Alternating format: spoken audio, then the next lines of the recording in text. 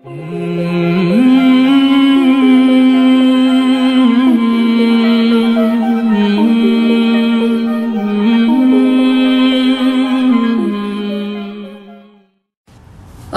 علیکم ورحمۃ اللہ وبرکاتہ۔ ایمان والے کی یہ شان ہے، مومن کی یہ شان ہوگی کہ قیامت کے دن اللہ تعالیٰ مومن سے بلا ترجمان اور بلا حجاب گفتگو فرمائے گا۔ کیونکہ کافروں کے متعلق آتا ہے اللہ عز و جل سورة المطففین میں فرماتا ہے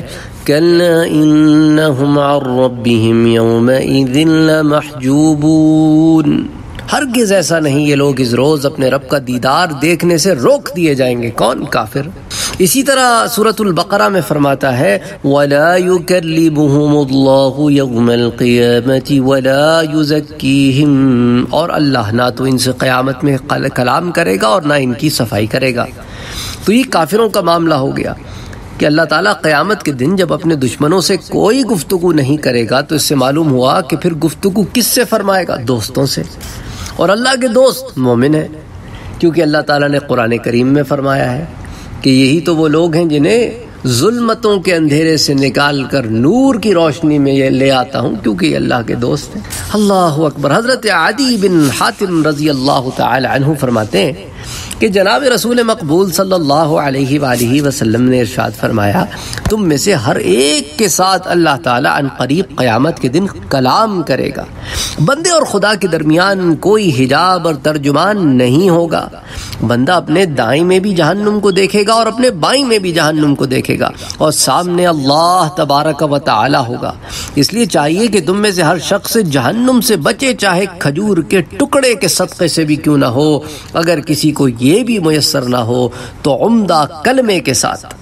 اچھی بات کے ساتھ۔ علماء فرماتے ہیں کہ یہاں عمدہ کلمے سے مراد ایسا کلمہ ہے جو ہدایت پر دلالت کرے یا کسی تکلیف کو دور کرے یا دو لوگوں کے درمیان صلح کرائے یا دو جھگڑنے والوں کے درمیان راضی نامہ کرائے یا کسی عقدے کو حل کرے یا کسی حملہ آور کو دور کرے یا غصے کو دور کرے۔ اسے امام بخاری نے روایت کیا کتاب الرقائق میں۔ علاوہ ازیں اسے کتاب التوحید میں بھی لے کر آتے ہیں۔ امام مسلم نے اسے کتاب الزکوٰۃ میں روایت کیا۔ امام ترمزی نے کتاب صفت القیامہ میں۔ ابن ماجہ نے بھی اسے روایت کیا المقدمہ میں۔ اور اسی طرح امام احمد نے المسند میں۔ اور پھر امام بحقی نے، امام طبرانی نے، امام بغوی نے، کئی محدثین نے اس روایت کو جمع کیا ہے۔ متفق علیہ، صحیح صحیح درجے کی روایت ہے۔ بہرحال ایک اور روایت آپ کے ساتھ شیئر کرتا ہوں۔ حضرت عبداللہ ابن مسعود رضی اللہ تعالی عنہ فرماتے ہیں کہ تم میں سے ہر ایک اللہ تعالیٰ سے اس طرح خلوت کرے گا کہ جس طرح سے تمہارا ہر ایک چودویں کی رات میں چاند کو واضح طور پر دیکھتا ہے۔ اللہ تعالیٰ ارشاد فرمائے گا، اے انسان، تجھے میرے تعلق کس چیز نے مغرور کر دیا تھا؟ تو نے جو علم حاصل کیا، اس پر کتنا عمل کیا تھا؟ اور تو نے رسولوں کو کیا جواب دیا تھا؟ یعنی ان پر ایمان لایا تھا اور ان کی رسالت کی تصدیق کی تھی یا نہیں؟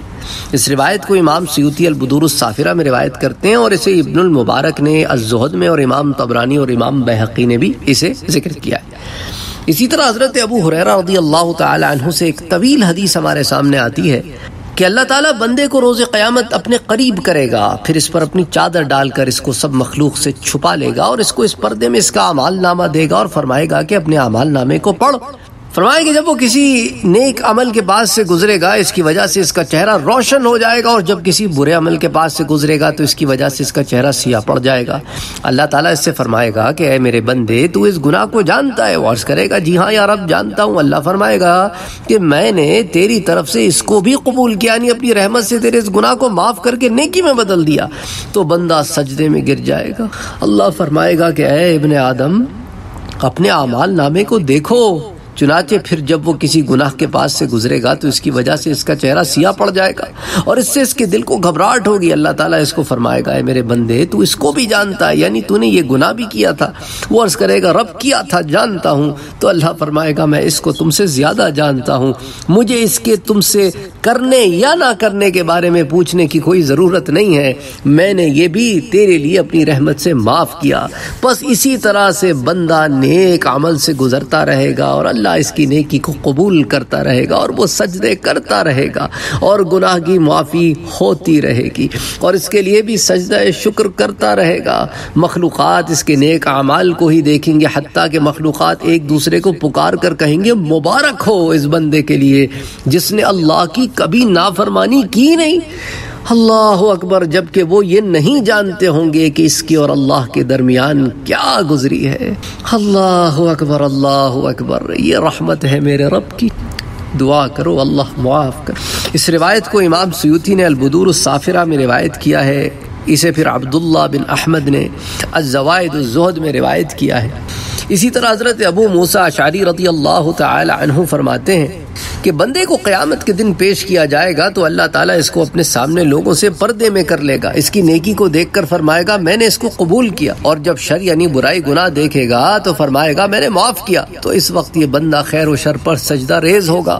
اور لوگ کہیں گے، اس آدمی کو بشارت ہو جس نے کبھی گناہ کا عمل ہی نہیں کیا۔ اسے بھی امام سیوتی نے البدور السافرہ میں روایت کیا اور پھر اسے امام بحقی نے بھی روایت کیا۔ یعنی اللہ تعالیٰ اپنے دوستوں کی پردہ پوشی فرمائے گا۔ ان کے گناہوں کو ڈھانپ لے گا، صرف نیکیاں آیا ہوں گی اور گناہوں کو مٹا دے گا، بعضوں کو نیکیوں سے بدل دے گا۔ اور دیکھنے والوں کو خبر بھی نہ ہوگی۔ اللہ اکبر اللہ اکبر۔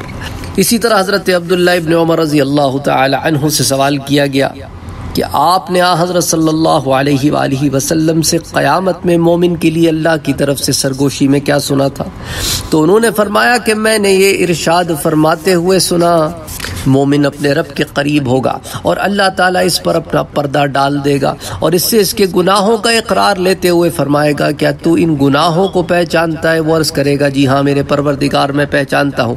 اللہ تعالیٰ فرمائے گا، میں نے دنیا میں تم پر ان کی پردہ پوشی کی اور اب ان کو تیرے لیے معاف کرتا ہوں۔ چنانچہ اس کو اس کے گناہ بخشنے کے بعد اس کی نیکیوں کا عمال نامہ دے دیا جائے گا اور کافروں اور منافقوں کی حالت ہوگی کہ ان کو سب کے سامنے پکار کر کہا جائے گا کہ یہ ہیں وہ لوگ جنہوں نے اپنے رب کو جھٹلایا تھا۔ سن لو، ایسے ظالموں کے لیے اللہ کی لانت یعنی رحمت سے دوری اور جہنم ہے۔ اس روایت کو امام بخاری نے روایت کیا ہے، کتاب التفسیر میں اسی طرح کتاب التوحید میں پھر امام مسلم کتاب التوبہ میں روایت کرتے ہیں، پھر ابن ماجہ اس کو المقدمہ میں روایت کرتے ہیں، امام محمد اس کو المسند میں روایت کرتے ہیں، متواتر کئی دفعہ پلٹا پلٹا کے لاتے ہیں۔ ابن حبان نے بھی اس کو صحیح میں روایت کیا ہے، پھر ابن ابی شیبہ اسے روایت کرتے ہیں مصنف ابن ابی شیبہ میں۔ امام بغوی نے شرح السنہ میں کتاب الفتن میں اس کو روایت کیا ہے۔ بہرحال کئی کتب میں حدیث آتی ہے۔ اچھا ایک واضح کر دوں، ایک بات پہلے بھی کسی نے پوچھا تھا۔ پچھلے درس میں بھی میں نے اس پر بات کی تھی کہ جب ہم کہتے ہیں نا کہ اسے امام بخاری نے صحیح بخاری میں کتاب التفسیر میں روایت کیا ہے، تو جو پوری جامع کتاب ہے نا، پوری مکمل کتاب ملٹیپل والیومز پر، اس کا نام تو بخاری شریف ہے۔ ویسے اس کا نام بخاری شریف نہیں ہے۔ امام بخاری نے تو اس کا نام کچھ اور تجویز کیا تھا، لیکن عام فہم میں بخاری شریف کے نام سے مشہور ہے۔ اس میں پھر کئی چھوٹی چھوٹی کتابیں ہیں۔ کتاب الوحی ہے، کتاب التفسیر ہے۔ تو اسی طرح یہ چھوٹی کتابیں، پھر ہر کتاب میں کیا ہے؟ چیپٹرز ہیں، باب ہے، جسے باب کہتے ہیں۔ تو بہرحال اس طرح جو ہے نا، اس کی جو ہے وہ بریک ڈاؤن ہوا ہوا ہے۔ اچھا اسی طرح علامہ قرطبی فرماتے ہیں کہ ان معاف ہونے والے گناہوں کے متعلق علماء نے اختلاف کیا ہے۔ نمبر ایک یہ وہ گناہ ہوں گے جن کا انسان نے دل میں خیال کیا ہوگا، جو اس کی ہمت سے باہر ہوں گے، مگر اس کی نیت میں داخل ہوں گے۔ اسی قول میں ابن جریر اور ابو جعفر النحاس وغیرہ نے جو ہے وہ بات کی ہے۔ بہرحال دوسرا یہ کہ یہ وہ صغیرہ گناہ ہے جو کبیرہ گناہوں سے اجتناب کرنے کی وجہ سے معاف کر دیے جائیں گے۔ اور تیسری رائے یہ ہے کہ یہ وہ کبیرہ گناہ ہیں جو بندے اور اللہ کے درمیان تھے، نہ کہ حقوق و لباد کے گناہ تھے۔ یہ وہ گناہ ہیں جن سے بندے نے توبہ کی تھی۔ اس رائے کا اظہار تذکرات القرطبی میں کیا گیا ہے اور پھر اسے امام سیوتی نے البدور الصافرہ میں نقل کیا ہے، واللہ اعلم بالصواب، اللہ تعالیٰ ہی بہتر جانتا ہے۔ اسی طرح حضرت اشعث بن سوار فرماتے ہیں کہ میں نے حضرت حسن بصیر رحمۃ اللہ علیہ سے پوچھا کہ مجھے اس بندے کے متعلق بتائیں جو گناہ کرے، پھر توبہ کر لے یا استغفار کر لے۔ کیا اس کی بخشش ہو جاتی ہے؟ فرمایا ہاں میں نے پوچھا کہ کیا اس کو اس کے اعمال نامے سے مٹا دیا جاتا ہے؟ فرمایا، نہیں، جب تک کہ اس کو روک کر اس سے اس گناہ کے متعلق سوال نہ کر لیا جائے۔ اسے المجالس الدنوری میں روایت کیا گیا، پھر امام سیوتی البدور الصافرہ میں لاتے ہیں۔ تو اب اس سے واضح ہو گیا کہ جب تم معاف کر دیتے ہو، جب اللہ تعالیٰ، جب تم معافی مانگتے ہو، اللہ تعالیٰ اسے معاف کر دیتا ہے، تو بعض دفعہ تو کیا ہوتا ہے کہ وہ اس طرح کا معاملہ ہو جاتا ہے کہ وہ اعمال نامے میں ایسے ہوتا ہے کہ صرف اللہ اور بندے کے درمیان ہوتا ہے اور یہ بات پھر کسی کے اوپر جو ہے آتی نہیں۔ کوئی نہیں جانتا اس معاملے کو۔ اور دیکھنے والا جو ہے یہی سمجھتا ہے کہ اس بندے نے کبھی کوئی خطا ہی نہیں کی، پھر اللہ تعالیٰ اسے یوں معاف فرما دیتا ہے۔ تو معافی کبھی رائے گا نہیں جاتی، یوں نہ سمجھنا۔ اچھا حضرت معاذ ابن جبل رضی اللہ تعالی عنہ سے روایت ہے کہ حضور اکرم صلی اللہ علیہ وآلہ وسلم نے ارشاد فرمایا، اگر تم چاہو میں تمہیں بتلاؤں سب سے پہلے قیامت کے دن اللہ تعالیٰ مومنین سے کیا فرمائے گا؟ وہ سب سے پہلے کیا عرض کرے گا؟ صحابہ کرام نے عرض کیا جی ہاں آپ صلی اللہ علیہ وآلہ وسلم نے ارشاد فرمایا، اللہ تعالیٰ مومنین سے پوچھے گا کہ تم مجھ سے ملاقات کو پسند کرتے تھے؟ وہ عرض کریں گے جی ہاں اے ہمارے پروردگار، اللہ تعالیٰ پوچھے گا، کیوں؟ تو وہ عرض کریں گے ہم نے آپ کی رحمت کی اور آپ کی معافی کی امید کی تھی۔ تو اللہ تعالیٰ فرمائے گا تو پھر تمہارے لیے میری رحمت لازم ہو چکی۔ اللہ اکبر اللہ اکبر اللہ اکبر اللہ اکبر۔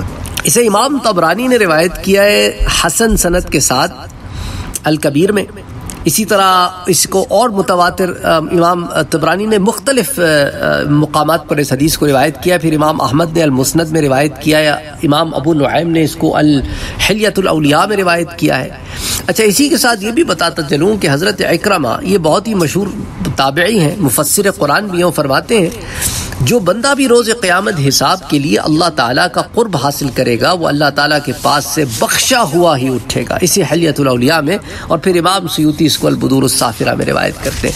اچھا دو تین باتیں اور کر لوں، پھر آج کے درس کا اختتام کریں گے۔ ان میں سے ایک ذکر تو حضرت آدم بن ابی یاس رحمۃ اللہ علیہ فرماتے ہیں کہ مومنین میں سے ہر شخص اللہ تعالیٰ سے خلوت اختیار کرے گا۔ اس کے اور اس کے درمیان کوئی ترجمان نہ ہوگا۔ یعنی اللہ تعالیٰ اور مومن بندے کے درمیان کوئی ترجمان نہ ہوگا۔ کوئی کوئی ٹرانسلیٹر ریپرزنٹیٹیو اس طرح کا کوئی معاملہ بیچ میں نہیں ہوگا۔ اللہ تعالیٰ فرمائے گا کہ اے میرے بندے، میں تیرے دل کا نگہبان نہیں تھا۔ جب تو نے اس سے ایسی خواہش کی جو تیرے لیے حلال نہ تھی۔ اے میرے بندے، کیا میں تیری آنکھوں کا نگہبان نہ تھا؟ جب تو نے اس سے ایسی چیزوں کی طرف دیکھا جو تیرے لیے حلال نہ تھی۔ اے میرے بندے، میں تیری کانوں کا نگہبان نہ تھا۔ جب تو نے اس سے ایسی چیزیں سنی اور متوجہ ہوا جو تیرے لیے حلال نہ تھی۔ اے میرے بندے کیا میں تیرے ہاتھوں کا نگہبان نہ تھا جب تو نے ایسی چیزوں کو پکڑا جو تیرے لیے حلال نہ تھی۔ اے میرے بندے، کیا میں تیرے قدموں کا نگہبان نہ تھا جب تو نے ان کے ساتھ ایسی چیزوں کی طرف چلا جو تیرے لیے حلال نہ تھی؟ تو نے مخلوقات سے حیا کیا اور میں دیکھنے والوں میں تیرے نزدیک معمولی ہو گیا۔ وہ عرض کرے گا، یا اللہ ہے میرے رب، آپ میرے لیے دوزخ کا حکم کر دے۔ تو دوزخ کا حکم کر دے۔ یہ میرے لیے اس ڈانٹ سے زیادہ آسان ہے۔ تو اللہ اس سے فرمائے گا، اے میرے بندے، یہ بات تیرے اور میرے درمیان تیری بخشش کے لیے ہے۔ میں نے اس کو کرامن کاتبین سے چھپا رکھا تھا۔ چلو میرے بندے کو جنت میں لے جاؤ۔ اللہ اکبر اللہ اکبر۔ اس روایت کو تاریخ دمشق میں ابن عساکر روایت کرتے ہیں اور امام سیوتی البدور الصافرہ میں روایت کرتے ہیں۔ تو اب یہ وہ معاملہ ہے جو میں نے آپ سے پہلے بھی عرض کیا تھا کہ کرام الکاتبین سے معاملہ چھپ جاتا ہے اور اللہ اور بندے کے درمیان رہتا ہے۔ پھر اللہ تعالیٰ اسے معاف فرما دیتا ہے۔ یہ ایمان والوں کی شان ہے، یہ اللہ کے دوستوں کی شان ہے۔ اللہ اکبر اللہ اکبر۔ صاحبان ایمان ہو تو اللہ سے دعا کرو کہ ایمان کی حالت میں جائے اللہ اکبر، اللہ بڑا رحیم ہے، بڑا کریم ہے ایمان والوں پر۔ تم گناہ کر کے توبہ کر لیتے ہو، وہ معاف کر دیتے۔ آپ سے کوئی لغزش ہو جائے، آپ اس سے معافی مانگ لیں، وہ معاف کرنے والا ہے، وہی معاف کرنے والا ہے اور کوئی معاف نہیں کر سکتا۔